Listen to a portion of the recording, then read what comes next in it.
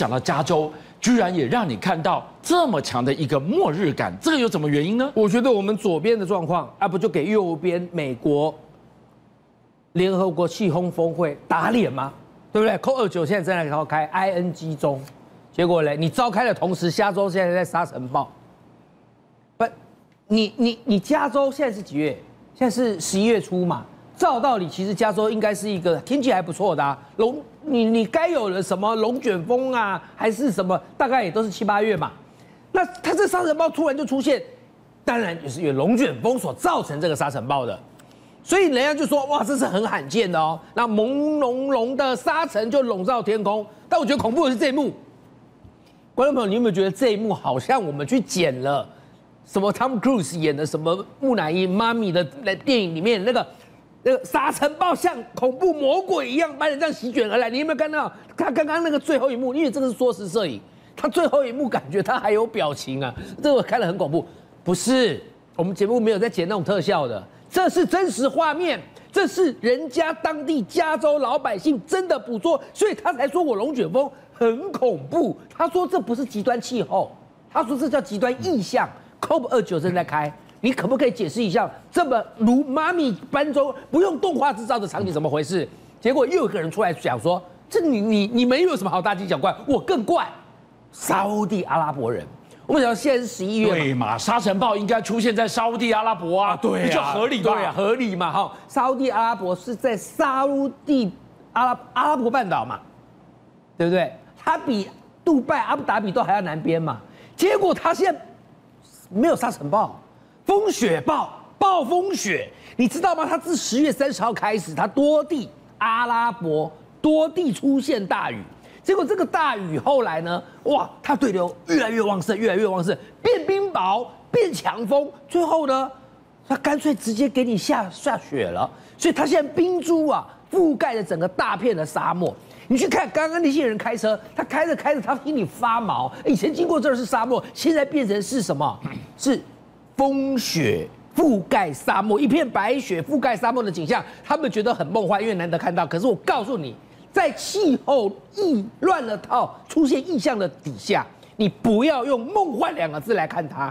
你当你看到骆驼在沙漠上走路的时候，你就要知道，二零二五一定会有更大的危机，真的太抓马了。如果骆驼可以在白雪上走路，那么帝王企鹅不滑雪跑去滑沙，你就真的不要太惊惊呼，这太觉得太奇怪了。我们再给大家来看到，现在南半球什么季节？夏天了，夏天居然下大雪。南非啊，大家想到的就是热，动物草原，所以通常我们避开热的时候，通常这时候去最好。就你现在一去，遇到大风雪。这个我觉得比沙特阿拉伯还夸张，对，沙特阿拉伯哦，那个可能也许也是数十年来如一见，但是南非的人告诉你，我是八十五年来难得一见，将近一百年，这你接近可以说是近百年难得一见，他十一月下了这个大雪，你，哎，各位南非在南半球哎，所以他其实现在是应该要进入夏天的季节。就他没想到，他竟然降下了这样皑皑白雪，还导致你看看，我是这条路哦，我现在用用的这条路是去我去找那个南非最大港和工业重镇所连说连连连通的高速公路，整条封闭，整条封闭，当地头条啊！哦，目前呢一个人死亡啊，还还算小事，是你现在整个南非的交通运输纽整个中断。南非的人也搞不懂为什么啊？因为如果八十五年来一届，你觉得他这八十五年他会去研究为什么吗？好，结果呢，我们往北一点，肯亚非洲大草原，我也觉得这季节去是最棒啊，很凉爽啊。但你不用去啊，因为你现在去，不是看到狮子王在那边跟他的这个母狮子，还有跟他的小狮子在那边，对不对？荒这个在荒烟蔓草当中这样闲悠闲的走着。没有，你就看到两头母狮子，它也你没有觉得它感觉它的头上也是黑人问号吗？我觉得它的背景应该是草原呢，怎么会变成皑皑白雪了？对呀，所以啊，这两头其实我坦白讲，这两头母狮子我我不晓得，我觉得他们看起来已经似乎有嗅到危机的感觉。哦，觅食找不到哦，找不到食物嘛。是，斑马也在雪中吃草，那那真的是草是不是吃起来也蛮困难的？嗯，好，你现在看到是非洲，而且都是南南边，都应该是夏天。还有一个地方也是夏天嘛，澳洲，澳洲。那我就把镜头带去澳洲，澳洲拜托你正常一点好不好？你再不正常，那就是地球全部都不正常。就他他说我这里也不正常。南澳在下雪，我再说一次哈，他要夏天，他就不应该是下雪嘛。就他现在测得的最低气温是零下接近一度，零点八哈，零接近一度啊啊，然后呢，下雪就算了。他说我们这里好恐怖哦，我刚不是说嘛，气极端气候，有时候人家会说是极端意象，意象跟气候不一定能画上等号，但他就他就是看到啦，这个闪电，就感觉那个紧箍咒好像。照在刚刚当地的上方，就是火树银花。雷雷神所有把紧箍咒照在这啊，我就闪你这十万道哦。根据当地的统计，十万道的闪电，能不能想象一整年的降雨，十二个小时给你倒下来会怎么样？意大利上演这样的人间炼狱般的景象啊！我觉得意大利人他是没有办法习惯这样，所以他现在他遇到这种情景，他很惊慌。意大利的西西里岛，去那边不就喝红酒吗？就是去观光啊，对不对？结果呢，你现在去，你以为我是不是来到威意大利威尼斯？这是意大利的西西里岛市区哦，它那个水哦，因为刚好他们的呃去过西西里岛就知道，他们的路很多都是有坡度的，那水就直接就在顺流而下，然后还跟着滚滚黄沙，所以他们就讲啊，又是暴雨，又是洪流，还有的土石流，然后那些人因为不习惯，所以还继续开车，等一下就掉家，他等一下就掉家了。好，十二个小时一直在下，你猜下了多少雨量？下了意大利西西里岛一年的雨量，一年十二小时直接灌下去，整个西西里岛变成了威尼斯。好，所以呢，现场救援不断，嗡一嗡一嗡一，一天可能就要七十多次。你我给看，另外这这这，我要给大家看是这个画面，这是什么？这个这个就是你只能眼睁睁看着自己的爱车就这样飘走。那如果车上有人呢？这拍摄者看起来应该不是车主，这车上一定有人。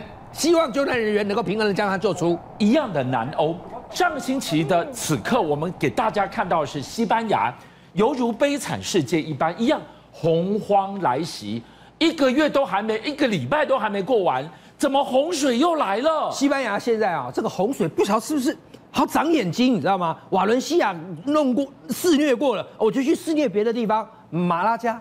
马拉加地区的这个洪水啊，我觉得是比刚刚西西里岛看起来还要可怕，因为你去看嘛，你看那个电线杆的高度嘛，它基座不见了嘛，然后还有你去看旁边左左边右边那个骑楼一楼也灭顶了嘛，然后大家看民众打开门就是水就是淹进来啊，这些东西对台湾来说可能也许不足为奇，但对于西班牙马拉加地区人家他会讲，他说我们已经好奇到。我们现在该去哪里？所以就紧急撤离三千人。之前马来西亚领导人在这样的洪灾之下，他竟然还和记者共进午餐三小时，忽略了发警报的黄金时间。你就知道这些人对于极端气候是没有危机意识的，雨柱就直接像是这样笼罩你这个地区，直接这样喷。为什么？因为南欧人可能还不晓得极端气候的恐怖。我这边一定要告诉你们，二零二五年一定会是极端气候。更肆虐的一年，四星连珠史上第一次四个台风，一个、两个、三个、四个排头的这个叫银杏台风，好可怕！二进二出菲律宾有多肆虐？而且秋台，我们讲俊阳哥不能轻忽啊！你要讲秋台也好，你要讲秋天的台风也好，因为形成的原因不一样。为什么我们看到菲律宾？来，各位，我们直接进现场画面，就是你现在看到，喂，这个风，你在开我什么玩笑吗？强风豪雨就是指这种状况，连铁皮都直接被吹起来了。而且呢，这个台风到目前为止在菲律宾已经造成了两万人直接撤离。坦白讲，这个不用政府撤离，我看到我都先跑，整个树被吹断哦，在原地这样跑哦，甚至酿成了一百五十八个人不幸的丧命。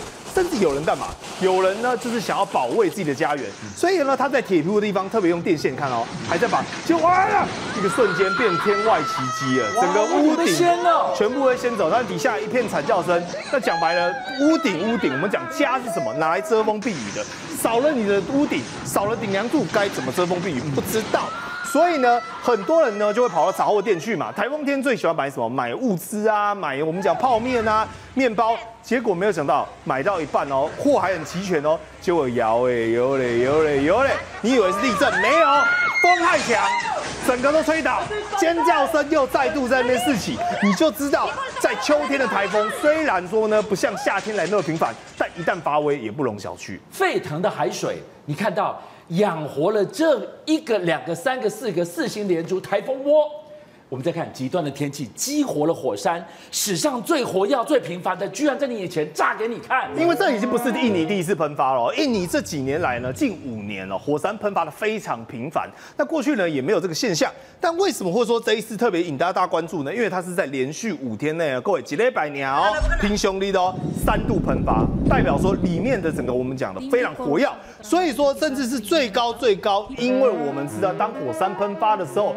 都会有这种火山灰，有这种云飘出来嘛？是，就军扬哥来跑到一个非常吉利的数字，叫做一万六千八百公尺，一路发，哎，一路发。但是我们讲，没人希望火山一路发，你最好是给我点点，点点，哎，卖恭维，是一路发，没办法，因为最近火山真的发。但是你你知道吗？每次火山爆发，虽然台湾比较少这个情况，但是像印尼呢，过去曾经就酿起了不幸的意外，也就是有九名人丧生。那一样也是附近邻近的区域呢，大概上万人都要直接撤离。为什么？因为当这个火山会喷发的时候，你以为那个灰烬没有温度吗？你以为火山它如果流泻出来的东西没有温度吗？有，都非常高温。所以他们说有如下什么？你看到的是灰。但对他们来讲，像是巨大的火球，就像从天空上降下来一样。而整个村庄过去之后，不讲你还以为这是乌俄战争？为什么？像被炮火洗礼一样，杯盘狼藉。所以持续在看，这个是在印尼，印尼这个回教人口最多的国家，今年极端天气它吃全餐呢。我们刚才讲了台风，我们刚才讲了火山，但不好意思，同样位在印尼。他们这个叫什么？不只是烽火山林，有风有火也有雨。来，各位，这就是他们前一阵子历经暴雨摧残的画面。为什么呢？因为一样啊，极端气候，强降雨太强了，所以你看到有没有？刚刚是被风吹倒，结果现在是所有的家具伴随着尖叫声，全部都被流水而倾泻而出，家也不像家，屋顶也没有屋顶，整个店家街道通通被摧毁。但你还看得到人影在算好的，因为最惨的是什么？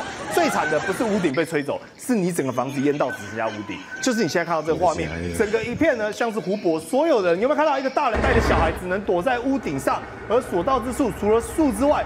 所有的房子恐怕都再难以住人，而这就是在极端气候下，印尼人所面对到的一个非常艰难的处境。今天晚上宇轩带我们来关注天后的极端呈现出来的灾难、跟危机、跟恐惧，很多都是史上创纪录的第一次。刚刚台风四星连珠是其一，其二，日本从来没有等到这么晚。富士山终于下雪，但日本人却高兴不起来。我们刚才在讲的是人有旦夕祸福，但现在要讲的是天有不测风云。为什么？因为原本富士山呢降雪呢，跟它的季节呢是非常固定的，否则旅游团怎么开？结果没有想到这一次观测到有个叫初冠雪，就是我们富士山北北这乌报，竟然晚了一个多月。它本来哦都是我们讲热腾腾的，结果没想到哎。怎么晚了？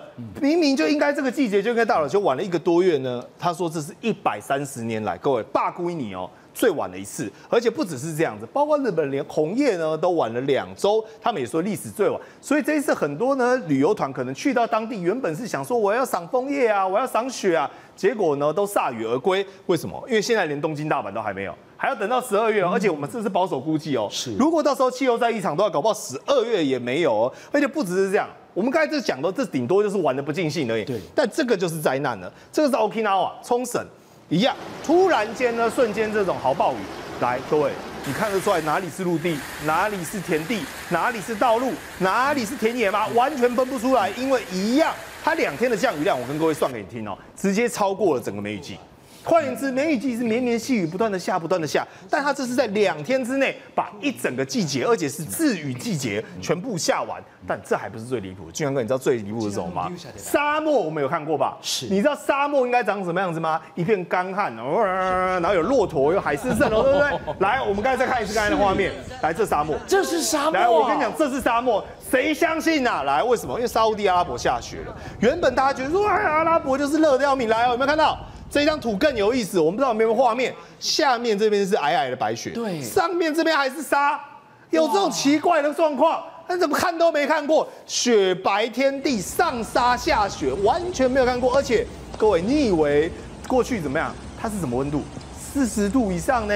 沙漠就热呢？不然怎么有骆驼？怎么有仙人掌？结果现在跟你讲陡降，为什么？极端气候直接掉到零度以下。甚至是更离谱的来了。你如果说下雪就算了，但你知道最极端最极端的，因为雪那个叫做慢慢成型，它需要一个六角结晶体，但它不是直接下冰雹，代表说我瞬间温度的变化太快，配合空气中的我们讲微浮粒子之后，马上形成这种非常而且是大量的哦，大量摩卡小，卡疼哦，大力的冰雹直接哔哔哔哔哔哔哔，来各位，现场就直接变成这种一片冰河景象，你有没有看到？有没有这个？我们讲阿拉伯人手上拿着一粒粒像樟脑丸啊，没有，他们那边没有樟脑丸。哦，OK，是，所以我们讲了怪是怪在骆驼还是得活啊，对不对？你们下雪，我骆驼就直接我们讲了喝西北风了，没有。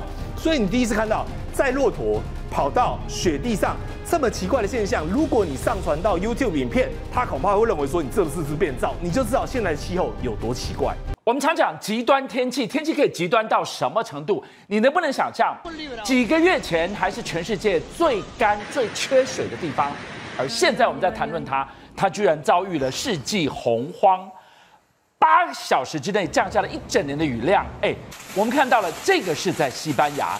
怎么会遭遇这个连明天过后都写不出的剧本的地狱景象？对，西班牙是很多的这个背包客很喜欢去的一个地方。为什么呢？气候宜人，又干爽又舒服。可是你想想看，最近来发生什么事情？它在八个小时之内降下了一年的雨量，在瓦伦西亚这个地方，西班牙的洪灾已经增加到一百五十八个人死亡。而政府告诉大家说，你真的要非常的谨慎。为什么呢？因为雨还没有结束，大家才想说奇怪，之前才提到西班牙的消息。可是呢，是自然灾害，但不是洪灾啊，而是什么？是这个啦，是雨没下不来，所以干旱到什么样的状况？你看到他们的湖泊都已经没有水了，而且不只是没有水，还变成干涸的一个状况，都整个都裂开了。现在导播给我们看到了这个双分割的画面，左边是你看到上一次就几个月前呢，对，他上了新闻版面是渴得要死。结果几个月后，居然在右边祈雨祈来了另外一个死神，我不要这么多水啊！对，那个时候呢，很多的居民接受电视台的访问，就告诉大家说，天外老天也可以下点雨，因为我们太渴了，不只是湖泊干渴，人民也干渴。可是呢，因为它太热太渴的一个情况，你让当地的热对流越来越强，越来越强，越来越强，结果你累积了几个月之后，一炸下去之后呢，变成什么？干旱变涝的，马上就变成洪洪水。洪水下来的话，他们说我们在这里的下雨，以前呢都是一点点、一点点、一点点，没想到洪水来了，水位暴涨三公尺，暴涨三公尺，我们就像老鼠一样被困住，这是什么概念？三公尺就是一层楼，你的一楼就不见了，二楼变成一楼，所以呢大家就没地方逃，没地方逃之后呢，直升机来空拍，可以看一下这个画面，直升机空拍过去了一片的一个黄泥巴，你根本没有想象说奇怪，这个地方是一个很大的一个城市，很大的。城市怎么会是像这个状况呢？那你要知道，当雨下的越大越急的情况之下，八个小时下了一年的雨量，你会知道什么情况？你来不及逃，你来不及逃之后呢？你知道困在哪里？你就困在家里面，家里面你就只好等在消防人员的一个救援。这个画面看起来非常的惊悚啊！他只带了一个随身小包包，然后呢，这个女孩叫 Ada，Ada 告诉大家说，不行，狗我一定要带走，因为狗不带走的话，一定会被淹死。然后呢，就直升机把它救下去。这个画面我要把它看完。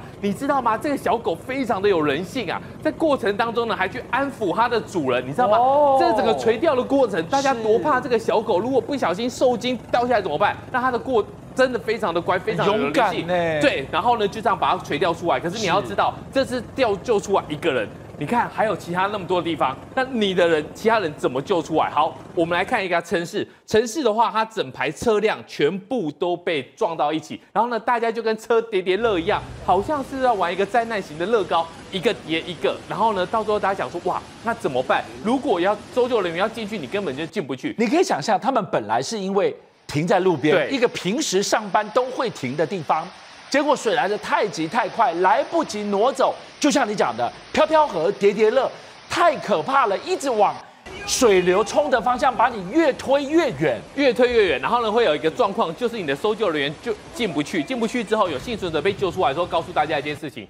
一定有很多人死亡。为什么呢？哦很多的遗体你说撞到了车上有人啊？对，然后呢，有很多的遗体是直接撞到了家门口，然后撞进来，哎，你你知道吗？遗体冲进你的家，那个是什么样的一个感觉？另外来讲的话，可以看这个画面，暴雨冲进养老院，很多人想说，那你为什么不赶快逃？这些养老院的老先生、老太太都是比较行动不方便的，所以呢，那个画面的话，其实我看得非常的难过啊。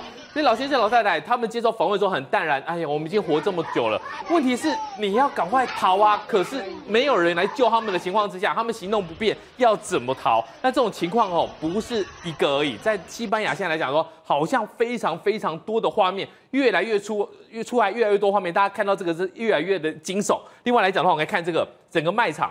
洪灾来了，大家想要去卖场去补一些一些存粮，结果呢，卖场是直接冲破。他们有没有挡水门？他们也有挡水门啊，跟台湾一样，下大雨、洪台台风来都有挡水门，可是就直接灌进来里面去。这个是在卖场。另外一个讲，我们来看一个，你一般的住家楼梯间已经变成瀑布了，是代表什么概念？代表说。你的马路的一个蓄洪的功能已经都没有办法完成了，所以呢，当水来的时候有没有，就是直接一路灌一路灌，然后呢，到最后的话，你就只能跟这个淹水并存，因为雪根本没有一个宣泄的地方可以走。八个小时降下了一整年的雨量，你就可以想象，河水溪水暴涨涨上来，原本好端端岁月静好靠泊在码头边、港口边的那些小船怎么办？居然已经被冲上来到马路上，要上也不是，要退也不是了。通常你马路跟你的海平面一定会有一个落差嘛，然后呢，你的船呢，你这些都是他们很棒的 yacht 绑在码头旁边，可是呢，全部都飘起来了。飘起来的话代表什么？一边原本陆地上停的是汽车，另外一边海面上停的是这种 yacht。问题是，当你的路面跟你的海面移平的时候呢，我都不知道我今天出门我要开车还是开这个小船了。更可怕的一件事情是说呢，我们从卫星图来看一下西班牙的洪灾的前后对比，原本你可以看到很清楚的，它都是有道路、有建筑物的，可是呢，一路向下去，八个小时下雨之后呢，一片的黄泥巴，一片黄泥巴代表有什么意思？代表你的基础建设、基础设施全部都被它给覆盖住。覆盖住之后呢，你除了你现在看到的灾难、看到的人员伤亡之外，后面的救灾你会发现说有越来越多的伤亡出现。除了西班牙，意大利也很惨啊。对，意大利也是除了西班牙之外，大家来看，最近来说也是很多的极端气候。你看一下哦，西班牙降下暴雨，然后呢洪水冲破餐厅，你也可以想象这个餐厅他们一直在等着说，哎呀，我们等到雨退了之后就要下班了。可是呢。雨就是不退，你根本无法下班，最后就撞到了里面去，整个落地玻璃就冲了进来。然后另外来讲的话，意大利的洪水从高架桥倾泻，你这个画面看过去，你会觉得说，天哪，这是一个大型瀑布吗？因为它很多的景点，可是不是，上面是车子走的高架桥。是那为什么会有这种天然的高架呃这种高架桥变成天然瀑布的情况之下？你雨太大了，你没地方的一个宣泄。你原本这些马路都是有一些落水口，可是全部都挤出来之后呢，就变成这种瀑布，变成高高架桥变瀑布的景象。所以从刚刚我们一开始讲的非常惊悚的西班牙，到现在您看到的在意大利，对，所有的悲惨世界都集中在南欧。所以刚刚这个瀑布整个宣泄下来，变成恐怖的水帘洞。对哎，这个除了你看下去，从远光看下去，我觉得很可怕之外啊，你要近距离去看，你知道吗？在马路上面，这个就是他们的一个日常生活。他们出去很喜欢什么？很喜欢骑 o b i 为什么呢？你看呢，像欧多拜就很方便嘛。结果没想到，竟然就是直接把它给冲走了。那冲走之后，大家想要去救人，问题是你拉得住吗？当你的水越来越强、越来越强的时候呢，你就是连人带车被冲走，而这种情况只可能在最近来说会越来越多。台风肆虐刚刚离开，你能不能想象过去八年台风一个都不来，结果短短二零二四这一年一次给你来三个，天气越来越难测了。能不能想象过去八个小时之内降下了一年的雨量会变成什么情况？你看到这个可怕的画面在西班牙，几个月前这里才是世纪干旱的现场，数不清的车子叠成一团，还有遗体被大水冲进家门，也在同一个西班牙。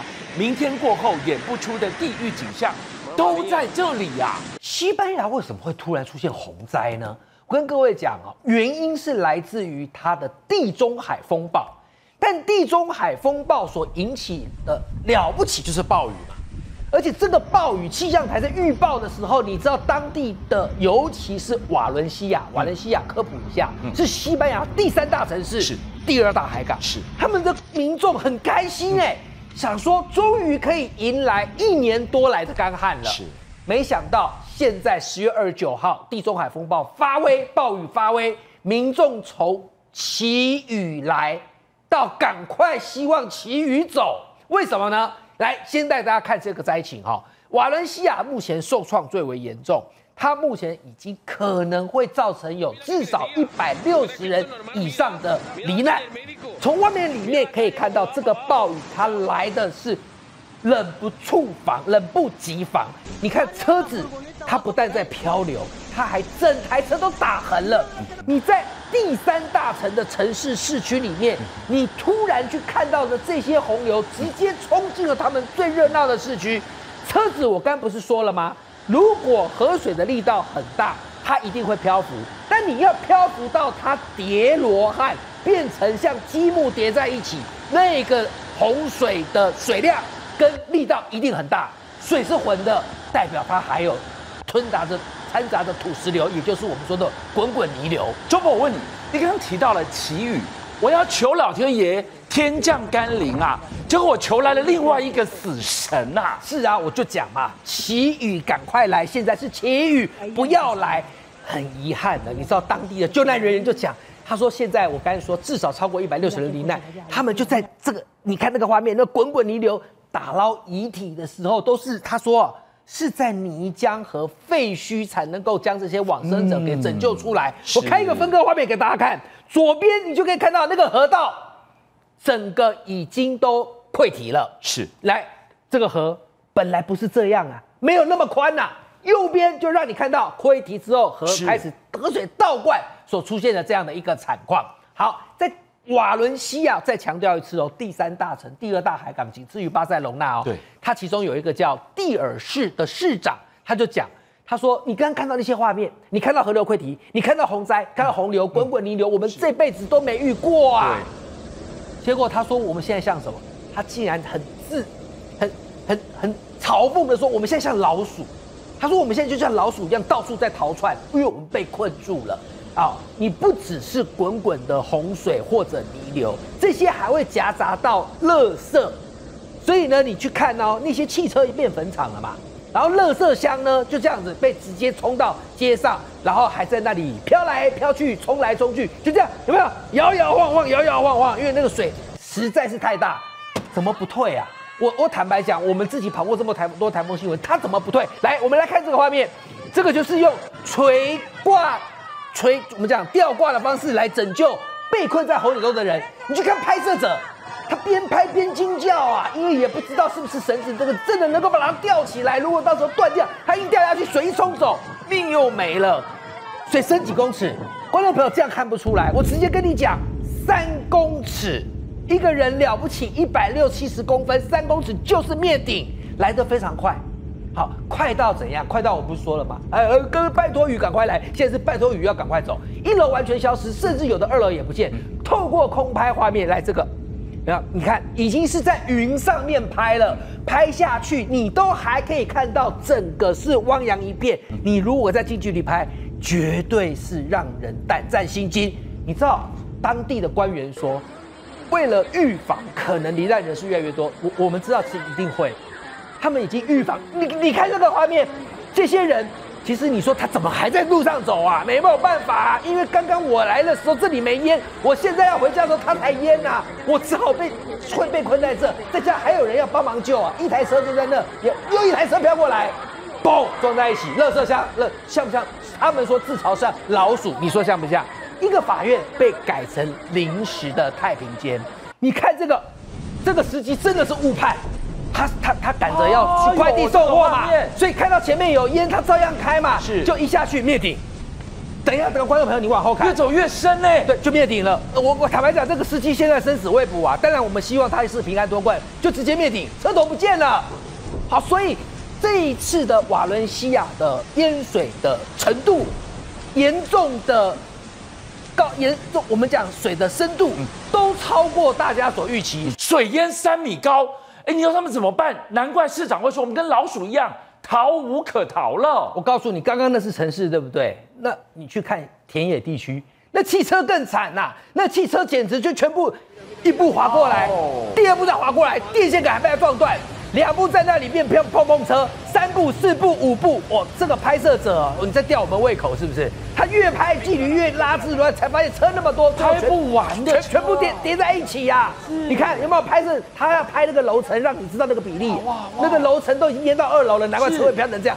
我觉得这个画面好恐怖，这比我当初在讲华中、华南地区的淹水还要可怕呀！是好，大路上的汽车和卡车通通在堆叠，还有变电箱，你泡在水里会怎么样？哎，爆炸嘞！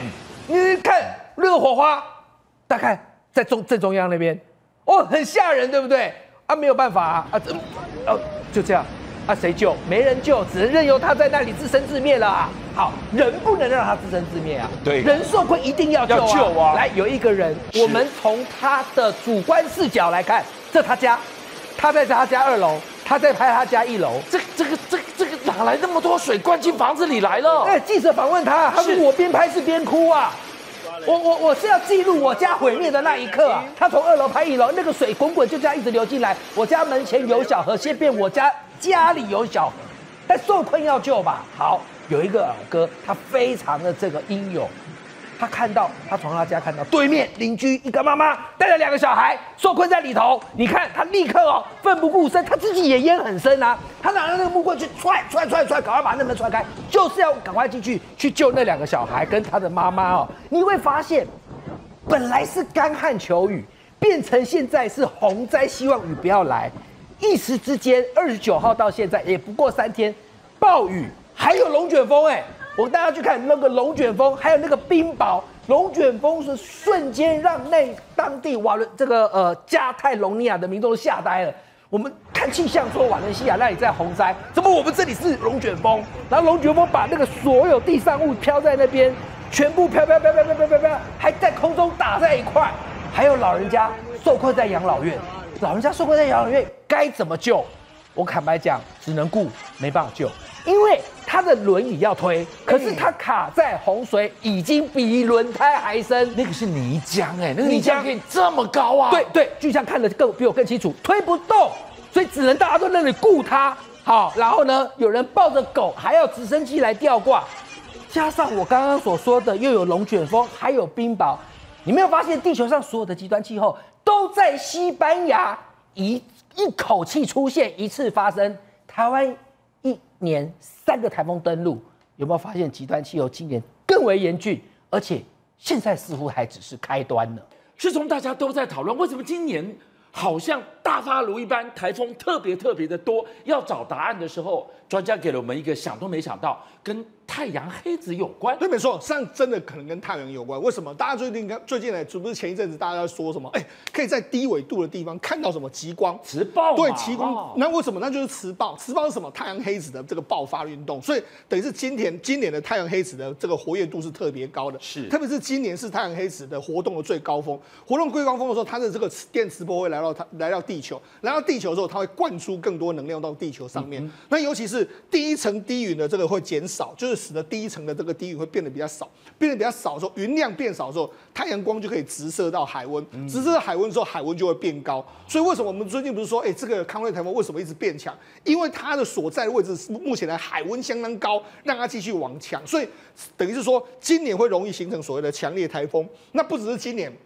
恐怕明年的台风也都会更多的一个状况。好，那我们讲，因为太阳的这个黑子的活动这个活跃之下，使得今年的冬天似乎是有一点点好像是暖冬的感觉。那为什么这样？至少我们就讲。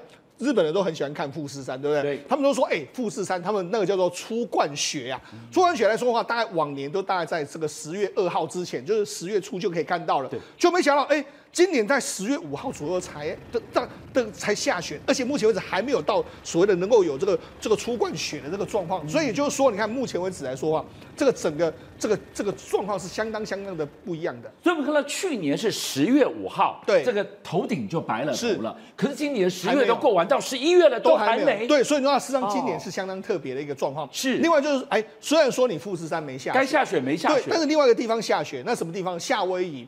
我们夏威夷来说的话，十月二十十八号之后下了第一场雪，覆盖他们这个莫纳克亚山峰。那市场都觉得很奇怪啊，因为他们在目前为止来说的话，在夏威夷的冬天，我们也许可以看到三到五次的下雪，但是呢，没有想到这么这么快的这个下雪，有点超乎大家的预期，就是下雪的时间比大家预期的时间还要更早。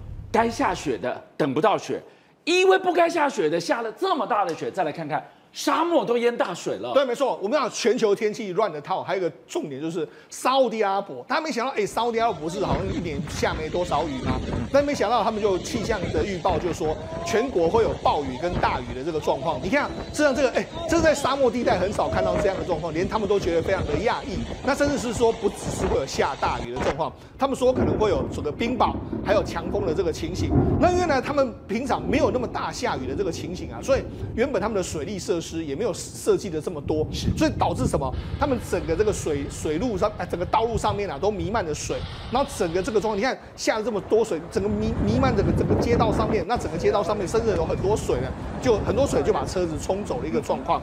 那甚至连沙特阿拉伯的这个沙漠来说，就变成原本是沙漠，就变成是什么？变成是冰雹河。你看洪水，这原本都是道路哦，就因为洪水这么大的关系呢，就冲冲的这样。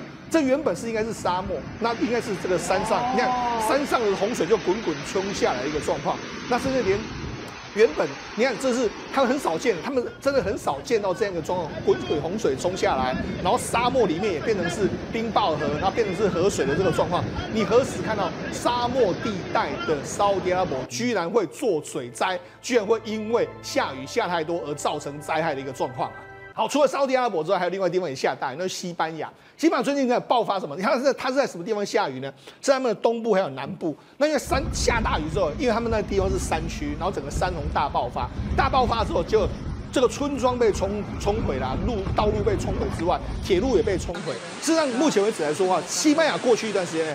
冬天是我们他们是比较类似是这个地中海型气候，不会下这么多雨啊。就没想今年居然下那么大那么大雨，这个山区你看他们完全看傻眼，过去从来没有看过这么多水啊。就没想不只是这样，他们这个整个屋顶被吹翻啊，然后水量淹过去之外，连公车司机那边开车的时候，发现你看这个整个因为雨下太大，整个山整个屋顶这样崩裂的一个情形，他们从来都没看过。那甚至有公车司机啊，在开车的时候开开开开开到一半，你看。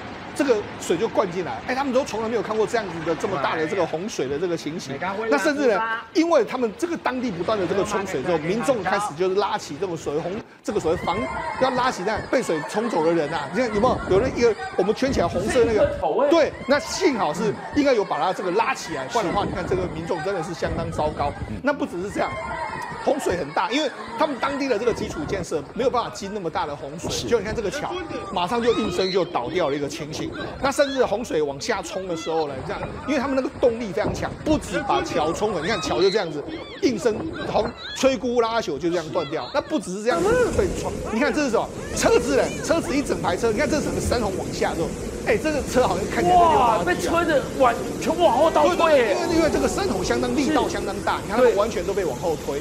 所以那事实上，哎，这个过去我们可能不会在西班牙看过，我们印象中西班牙没有下那么多雨，就没想到因为气候变迁的关系，让他们今年的冬天呢也是有相当大的这个暴雨。这几天不止变凉，还有豪雨狂炸，而且呢，除了潭美台风之外，还有个康瑞台风。那在双台共舞牵引之下，大家真的要小心了。而且说到潭美台风，虽然是青苔，但是外围环流加上东北季风影响，还是带来了很惊人的雨量。你来看看呐，在基隆港内的海水，这个颜色竟然从蓝色变成了土黄色，好多民众傻眼哦，因为真的生平第一次看到这样的画面。当二十四小时下雨超过三百毫米，那就是非常大的雨了。嗯，二十四小时一天真能下三百，结果呢？你看整个台北市、新北市还有宜兰，到处都超过三百，这边是三百七十五起跳，哦，也很惊人，四百多、六百多，台北市的这个市里有没有？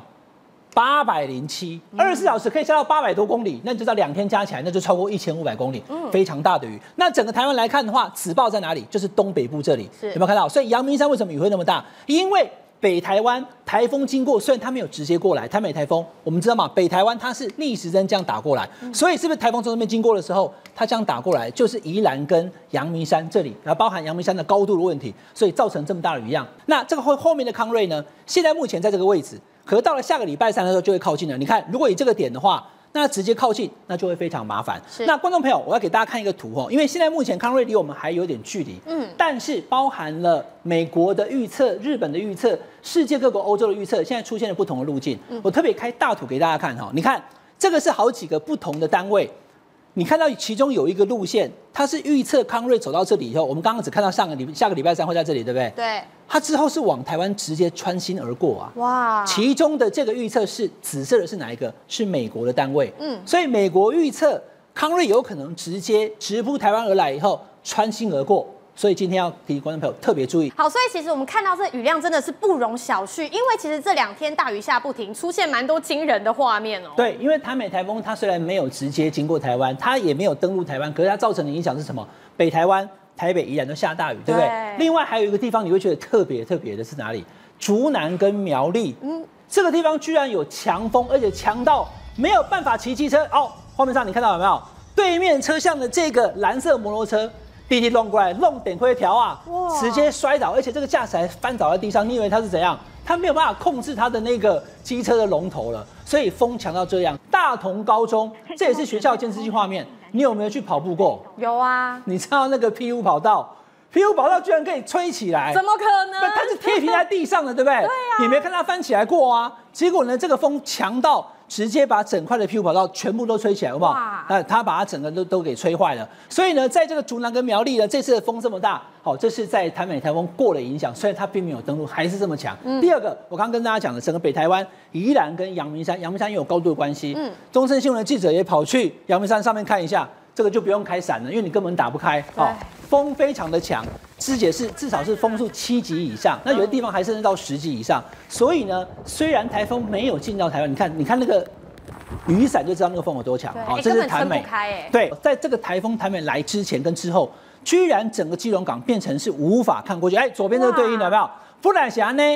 结果呢？台风一来以后，居然整个港变成是黄色，所以说基隆港被染黄，都变土黄色，所以你就知道哈，它可能是下了雨以后直接从排水系统流下来，所以虽然没有大的河川，那它带来的这个土石非常的多，影响了基隆。那当地有一些基隆的居民讲说，活六十几岁、七十岁讲说，乌啦，那俩路大好，不够大的顺呗。当雨量非常大的时候，可能基隆港就会变成黄色的一片。好，所以再来我们就要请宇轩跟我们来看到，那到底呢这个台美台风它是怎么样来肆虐菲律宾的，出现这些很惊人的画面呢？我们刚才讲到国内，但现在你知道，台美台风真正受害最深的是谁？是菲律宾。为什么？我们直接用画面来看。原本呢，它的雨水淹淹淹，你想说，哎呀，怎么一群民众呢站在路边，然后想说等着，想说来救援？不对啊，各位，你不要搞错了，这不是一楼。你现在看到了，有没有看到屋顶直接都给你淹到二楼去了，而且已经造成多少？高达上百万人直接必须要从他们的灾区完全的撤离。你现在看哦，你现在看的画面不是什么山川壮丽、什么物产丰盛，不是。原本这些地方要么是道路，要么是都市，要么就是蓬勃发展的经济区。结果没有想到，通通大水蔓延过去之后，整个市区都泡水，你完全没有办法分辨民宅在哪里，加油站在哪里。所有每一个地方看下去都只有一个字，就通通都是水。哇天呐！所以看到连市区都已经淹成这样，这个如果身高太矮的人站，直接被灭顶嘞。不，你就要学会游泳，真的，你要赶快人往高处爬，水往低处流。对所以能躲的地方只剩下屋顶，因为很多连屋顶都覆灭了嘛。但更惨是什么？你如果说只是单纯的淹水就算了，因为淹水那个叫静止的，但最可怕的是。户外有那种连通道，有没有？雨欣，你想想看，如果你原本连通道，那你想说我是要逃难啊，结果变得像这样，哇是什么？泛舟急流哦，太恐怖了。全部变急流，所以你看哦，整个民众他能怎么爬？这只能爬在那个栏杆上，每个都像是把戏团走特技钢索一样，这样子攀着攀着。因为如果你一不小心脚一滑一下去，很有整个人呢就直接冲走。但你说宇轩至少是还有栏杆可以抓，但有人更惨。如果你放眼望去，通通都是我们刚才讲的洪水怎么办？没办法，有什么抱什么。看到一棵大树，只能直接这样抱着。而你要想想哦，他这个等于是用自己的耐力在保住自己的生命哦。对因为只要他一松手，他一放开，他一力竭，很有可能整个人就被洪水带走。那洪水如果直接把人给带走的话，不好意思哦，就只能问天了，因为下一秒你会被冲到岸上。还是说你会被水流冲到最后体力不支？所以我们只能说，希望这位仁兄能够好好的，我们讲活下去。嗯，哎、抱着树这样子真的是蛮恐怖的，因为这个水一冲，你不知道树什么时候会断呐、但是呢，它除了暴雨之外，这个风哎、也很恐怖。刚刚讲的都是雨，但是风呢？如果风强雨骤，你说我家住很高，我躲在家里面，我躲在家中总没事了吧？我家没淹水就好了嘛？错了，为什么？因为有人就在家中，人坐在家中，祸从天上来，结果发现自己逃定了屋顶，怎么样？规好险险去啊！哎、我这个出来在看电视，看一部，哎呦，台风最严重诶，哎、结果风甲阮头，触天一下子先飞去啊！全部都被吹飞走，惊死人！所以你看哦，现在这个画面，边哭边逃难。但我坦白讲啦，雨欣，嗯，他也没有这么紧急，你知道为什么吗？他还有心情拿手机在那边自拍，这家伙也是有患难精神啦。但我们刚才讲完雨，有有些地方不该下雨的也下雨了，你知道是哪里吗？哪里撒哈拉。我们讲到撒哈拉后面会接哪两个字？沙漠啊，哎、对，撒哈拉沙漠没有，现在变成是撒哈拉西湖。你现在看到，这是我们讲 NASA 直接用卫星拍的画面，原本它是一片干旱哦，就没有想到中间有没有看到若隐若现，若隐若现，整个湖直接跑出来。那为什么会这样？四季大洪水，没有办法，因为前一阵子包括我们讲杜拜莫名其妙有淹水，撒哈拉莫名其妙也来急降雨，而且这个降雨的程度，一次降雨。就超过了两年的累积雨量，你就知道有多可怕。而且你想想看哦，沙漠它跟其他地方不一样，我们像台湾台北市有什么下水道，我们有排水系统，哎。沙子是什么最难排水？嗯，所以全部通通都积成这样子，像是汪洋一片的特殊奇景。不讲你还以为你在看电影《沙丘》怎么出了第三集、第四集，而不只是这样子，连北海道都出现了异象。哦为什么有异象？北海道札幌这个地方，通常哦，我们讲赏雪，赏雪。于信，你有去过北海道吗？赏雪大概是要在十二月、嗯冬天一月冷一点哦二月那时候很冷的时候去才好嘛。那我跟你讲，现在民众有福了，为什么？因为旅行业者绝对没有算到这件事情。本来想说十月是淡季，我票价便宜一点，结果奇怪，怎么十月人客那么多？因为大家都要去赏雪，怪了，提早二十二天，而且连印度，我们讲印度有个地方叫细谷，是这个这个太可怕了。来，整栋房子有没有看到外面还有鹰架？鬼龙绑绑体啊，哎就这样崩掉了哎。那雨欣，你知道为什么吗？嗯又是雨水惹祸哦因为他们连续三天我们讲的间歇性的强降雨之后，你知道发生什么状况吗？没有看到，外表看不出来，嗯就底下地基直接掏空，所以连印度戏谷的大佬，哎，你要想为什么要叫印度戏谷？为什么搬加罗尔？代表说那边是他们的科技产业园区嘛，连产业园区都这样哦。对嘛，盖的东西一定是盖比较好的嘛。结果没想到连这种精华地带也一样被冲走，但不只是房子被冲走，甚至连什么有人在卡车上都被冲走。哎，你要想想看哦，为什么他会在卡车上受困？等于说他知道有洪水，对然后他在开，他开开开开开的时候，发现水淹的速度比他逃命的速度还来得快那。淹的太可怕了吧？对，所以你看哦，所以才一群民众哦在旁边用绳子要干嘛？要救卡车。我们讲这些印度民众呢也是非常有爱心，想说看能不能把这个人赶快拉回来，因为毕竟人都卡在上面。但有些东西跑不掉，就没那么好运。印度呢很多的房子十多栋呢，它是怎样？原本坐落在自己应该坐的位置，结果雨欣，天哪！你有没有看到它在动？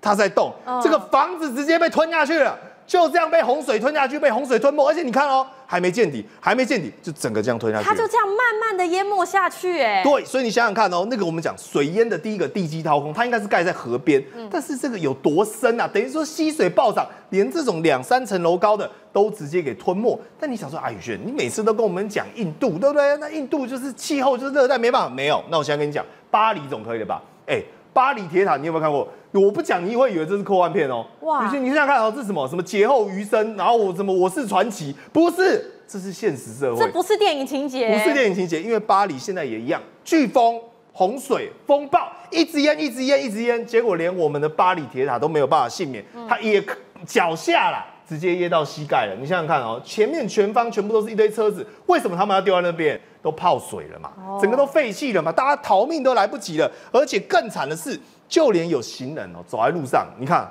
你看这是什么？你不讲，你还以为海边呢、就是整个巨浪就这样直接拍过来，代表说他们整个排水系统已经完全失灵，淹水可能是溃堤，又或者是有溪水暴涨状况，所以导致整个洪水在路上跟冲浪一样。你想想，巴黎人搞不好有点浪漫的冲浪板都直接拿出来开始冲了，怎么连路上都有这种情况，而且街道变急流不只是一个，这个至少还看得出街。来，雨欣，我问一下，你看得出来这哪里是街吗？根本看不出来，因为全部都变泥流了我。只看到滚滚泥流哎，水变老啊。我跟你讲，那个建筑物是还蛮漂亮的，古色古香的，但是那个泥流根本惨不忍睹嘛。最可怕的就是你想说，那汽车不行，房子不行，铁路总安全了吧？没有，连铁路都不行。因为连巴黎的铁路来，你看到，你想说哇，好有创意哦，还有文艺气息哦，空中铁路乱讲，铁路怎么可能空中？它要承载火车的重量，它是整个底下因为有河流经过，完全被掏空，所以你看到整个全世界各地。不约而同的异地发生这么多极端气候所导致的灾难跟现象，而未来只会更加严峻。今年已经很少再听到什么全球暖化，跳过暖化，全球都沸腾了，也难怪你看到人间仙境的瑞士居然出现了这个末日的景象。对，以前大家讲到瑞士呢，会想到这种我们讲的非常多的树林，然后一片的这个这个我们讲人间仙境的状况，就不是各位，你看到这个这个已经不是中国了，我们已经翻篇了，已经来到瑞士了，竟然全部的我们讲的绿草如茵，我们的树林都被冲成楼刮埋，甚至连这个道路，连这个小桥，通通他们讲三十年以来从来没有看过瑞士有这样的暴雨的景象，而最可怕的是什么？最可怕，以前有一首儿歌，大家记不记得？叫做《我家门前这个有小河，后面有山坡》。对结果来，我们来看到瑞士，这个变成什么？不是，是我家门前有洪水，后面有山崩。哎呦山崩变成山崩了嘛？是对不对？因为你各位，你仔细看，我们大看到大大家看到这一台汽车的画面，非常可怕。有没有那个汽车的画面是什么？就是它前面有这个洪水，你看这个山崩的程度，完全整个落石源源不断的而下，而且这已经不是土石流的程度喽。你有没有仔细注意看，俊祥哥那个落石是一块一块块状之大，不断的由我们讲的山体直接滑落下来，而甚至有一台汽车还因为整个水流的太快，最后呢不敌这个水流，莫名其妙整台车倒退路、倒退路、倒退路。然后你看这些所有车子，通通他们原本不是在这个位置哦，是被这整个土石流有没有看到？从上面一路这样蜿蜒冲下来，完全变成了自由落体的河道。好，我们看到了这个是非常惊悚的末日景象，在人间仙境的瑞士。再给大家看一个地方，意大利，意大利也很惨，热嘛就热的要干要死的，结果居然意大利北部发生了这个山崩、洪水、土石流，这是哪来这么多水啊？我们刚刚才唱完这首儿歌，就你看景象来到瑞士，现在又跑到意大利，就状况完全一模一样。来，各位，我不讲你会以为这是什么尼加拉瓜大瀑布，太夸张了吧？那不好意思，那个是山崩哎，这个整个到底哪里是水，哪里是泥土，完全分不清楚。有没有看到后面那个扬起的尘埃，然后整个山体这样的滑落跟崩塌，那个水流这样冲下来，代表整个山体所富含的水储水库已经完全没有办法负荷。而这样的景象不只是在瑞士，不只是在意大利，而是在全世界都有可能。极端天气的威胁，特别是长江沿岸。现在我们全部都要来关注这个地方——魔都上海。他这几天迎来最强的暴雨，上海变海上，这个噩梦又要卷土重来吗？我们就说，这个夏天已经没有人在谈暖化，因为直接跳过，变成沸腾了。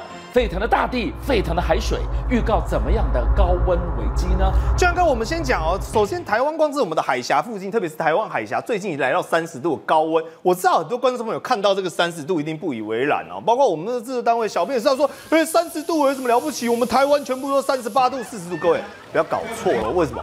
因为陆地跟海洋的比热不一样，海洋啊，夏天就算通常三十八度的时候，你知道它大概几度吗？就大概二十六到二十七度，是。所以在晚上的时候它才会产生对流风调节天气对嘛。调节的效果嘛，对不对？所以我跟你讲，这个海峡三十度，我这个真的是吓死人。平常二十六度的海，你想想看，这么大片大海，百分之七十海洋竟然到三十度，那代表一件事情，全球暖化已经到了一个非常可怕的地步。可怕到什么程度？可怕到可以让直播主崩溃。为什么？因为有一个南韩的女直播主呢，她来到这个台湾，我跟各位讲，因为韩国的纬度比较高。所以其实韩国没这么热的，夏天不会这么热。结果他来的时候呢，突然直播到一半之后，你知道干嘛吗？就这样 又哭的，又转又哎呀，妈妈咪呀，哎呀，我的头啊，我也不知道他讲什么，他讲韩文啊。八度而已，有必要哭成这啊样吗？铁爸啊，一直在那边可能不知道，他就是讲一下韩文吧，对不对？你讲到一个重点了，三十八度有必要这样吗？坦白讲，我也这样认为。但可能对于这个韩国人来讲，这个温度太高了，人不舒服，所以他就现场有一些状况嘛。因为我们平心而论，我们那么常在报新闻跟大家介绍说，到底天气世界各地多了，比如杜拜五十度啊，那边又四十几度，哎，拜托一下，连西伯利亚现在都三十八度了啦，你在开我什么玩笑？这还好吧？有那么严重吗？但没关系啊，人不舒服嘛，啊，所以他就躲在路边求救。总而言之，它不只是呢天气很热，这个直播组也顺利的博到了热度。真的很严重，观众朋友，特别中国，我们要看到聚焦整个长江沿岸。都进入了高度警戒，为什么？第一号洪水已经在湖南形成，水一路下去会淹到了哪里？上海魔都这个地方现在要高度警戒了。对我们观众朋友，你自己看这个上海的这个雨哦下的之大，你知道现在最大的问题是什么吗？现在最大的问题在于说，由于我们刚才一直在阐述的高温，所以这个高温它紧接而来带来就是会前所未有强烈的热对流，热对流就是什么？暴雨嘛，所以你看呢，包括长江中下游的水位，根本都已经快要超出几间线，甚至已经超出几间线。你仔细看，你现在看到所有淹水的画面，所有涉水的画面，甚至是整个路上行车，所有的轮胎很有可能它的排气管都要担心着会不会进水，这都已经变成了上海人的日常。因为呢，他们所谓的暴雨已经变成是现在天天每天都是这个状况，而且甚至是只要没有淹到灭顶都要偷笑了。所以你知道他们的民众呢多绝，衍生出了一种应应这种洪水的方式。来，各位，你现在看到的就是一个上海的一个妇女，这个妇女在做什么呢？她拿着一个水盆，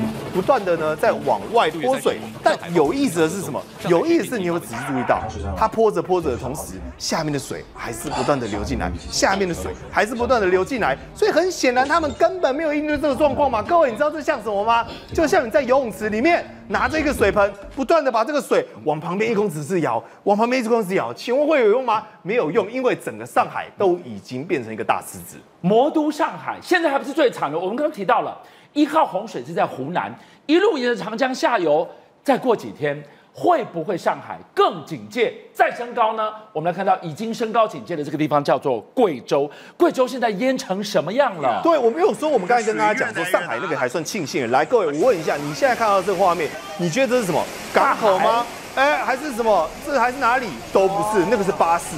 如果不讲的话，你还以为是什么接驳船呢？完全不是。甚至你现在看到这个画面更可怕，为什么？因为它的水流之大，直接把整个山体给冲得崩落、冲得崩垮，甚至连地下道稍微有低洼的地方，有没有看到旁边洪水不断全全的涌出？甚至你看这些民众全部躲在桥下，完全不知所措，因为那台车我跟你讲已经报废了。这是他们现在面对的状况嘛？过去呢，这个地方呢是一个古镇景区哦，结果现在呢，通通变成汪洋一片。有没有仔细注意到这些建筑物？有些地方，包括它的顶部。都是一些砖瓦屋墙，代表这是一个古色古香的地方。而这些古色古香的地方，代表它已经伫立在这边很长一段期间。但这一次的洪水已经将它们彻底的摧毁殆尽。刚刚那个画面你看到没有？已经水是满到了整个一楼、二楼。我不知道它原本几楼，但是只露出一个屋檐，代表这个水量之大。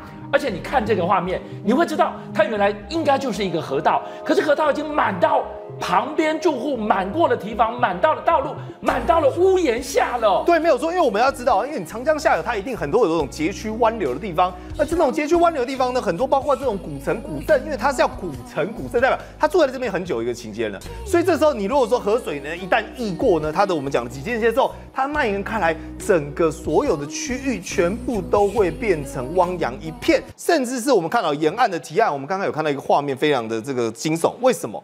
它等于是有个商铺，那这个商铺呢，它摆着一个木船，有没有？我们刚才那个画面是不是有流过去？就是各位，你现在看到了有没有？整个木船都被冲走了。各位啊，那个木船啊，本来是应该走在河上。你说宇轩，那刚才那个不就是河吗？不是，那原本整片都是陆地，甚至是有一些险象环生的景象，更加可怖。为什么？可怕在哪里？比如说有一个老人家来，各位你仔细看哦，你们看到一个老人家坐在木板上，就说哇。这老人家怎么厉害？不是哎、底下有一二三三个人头都已经水淹及肩，他们是担心这个老人家的安全，所以才撑着那个木板，然后甚至是垫着脚尖，用游泳的方式想要把他带到安全的地方。虽然说这个叫做患难中见真情，患难中见到人性的光辉，但你想想看，对于这些身家财产都在这边的人，脸情何以堪？我们看到进入了地狱模式的欧洲，特别这三个国家，一个一个我们带你来看这景象，这灾难不能再更严重了。这个画面看下去，大家你很难想象这个地方是哪里？这个地方是阿尔卑斯山的一个山脉。阿尔卑斯山过去来讲就是明信片的风景。你到了任何的一个地方，你只要租一个房子，然后呢，你每天去践行，你拍照的都是明信片，都是很漂亮的风景。对你现在来讲的话，全部都是洪水爆发。这个地方包括意大利，包括瑞士，包括卢森堡。整个都是被洪水跟大雨给淹没，所以呢，你现在来看的话，根本没有地方是幸免的。在过去来讲，他们没有遇过这样这么大的一个水量的一个冲击，所以呢，流过来之后呢，很多东西直接都被冲走了，因为他们不知道，他们以前没有这么大的一个呃大量的水谷呃水也会带过来。好，意大利西北部的高山山谷也是这种状况，山洪爆发。然后呢，这个来讲的话很可怕，你在过去你没有想到说，哎呦。怎么直接你的小溪变成大河流啊？甚至呢，把这些车辆直接一个一个给卷下去。卷下去的话，它旁边的溃堤了之后呢，你就会冲到上面的这个庄园。持续这张画面，你看哦，远一点的岸边一样是岁月静好，你根本看不出有多凶猛。可是就那个小小矮矮的围栏，围栏的对面是天堂，围栏靠近我们这边是凶险的地狱、啊。对，过去来讲的话，大家都只看到更远的地方，大家只知道说这个地方就是像人间仙境。可是呢，当你这些呃土地的涵养没有办法来吃下这些洪水之后呢，就变成地狱景象。那这个除了意大利之外的话，在在瑞士也一样在在在这种状况啊，一样哦，这个也是意大利，这个就是原本是一个小溪，这个小溪因为现在来讲的话，因为上游来就太多太多的水了，就整个炸开，炸开之后下面就变成什么万马奔腾。在这这个意大利这一个地方呢，你现在来说的话，你已经很难想象以前完美的景象。现在最怕的是什么？这些很多都是很古老的一个建筑，这些古老建筑撑得住吗？撑不住之后，洪水过去之后呢，这些房子这个白房子哎，对，这很有很很可怕。如果你慢慢掏空的话，可能就被冲走。好，那除了这些洪水之外，意大利又下了一个冰雹，那冰雹都是这样子，像手手手手手的拳头一样大小，一路砸一路夹。在这种极端气候之下，你对流太旺盛，等到洪水走了之后呢，就变成冰雹。冰雹完之后呢，又会继续下洪水，所以它变成说，一个它是一个一个复合式的一个灾难，非常的可怕。好，那除了这些地方，法国也是，法国来看这个画面。暴雨，然后呢打雷，你的树木直接就被打断了。那这个画面看得出去，你很难想象哦，这个是这个是好莱坞的特效吗？因为它也是强对流，所以就变成雷电一直打，打中顶梢之后，砰！一瞬间你都觉得说，这好像是分子料理一样，直接就把它碎狗狗啊这！个非常远的距离，那棵树很高哎，打得跟粉尘一样。对，这好像就是一个神法，好像雷神所有打下去之后呢，你一个人，只要是被锁定的，全部都逃不掉。五七报新闻的所有好朋友，你们给了我百万的订阅，真的无限感激。我要跟大家瞪眼看，再一次谢谢你们大家，同时请介绍更多好朋友来支持五七报新闻。俊相还有优秀的五七报新闻团队会继续为大家每一天挖真